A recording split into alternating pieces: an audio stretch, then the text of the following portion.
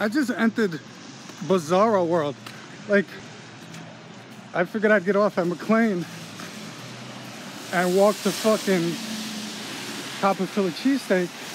And I walk past, I'm walking towards this fucking bar. All right, I'm gonna press pause because there's some coming up this way. Yo, this is straight Bizarro land, dude.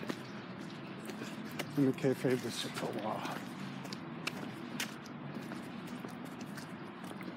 So I'm walking towards this fucking bar on fucking McLean Avenue. I see these dudes outside. I first thing I notice is sh- a shaved head. Then I notice some fucking docs, and I'm like, the fuck is going on? And then I notice a fucking chick. She comes out and she's rocking a Chelsea. I'm like, what the fuck?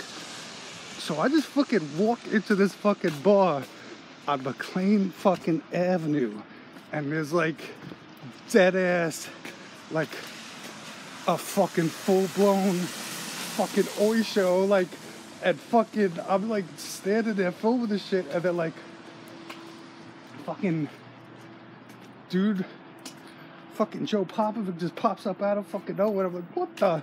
And I'm, I'm like, like fucking total fucking shock, and I'm just like out of nowhere in a bar full of fucking skinheads, and and supposedly the fucking Templars just fucking played, and and I guess that was a that was offensive weapon that was just on.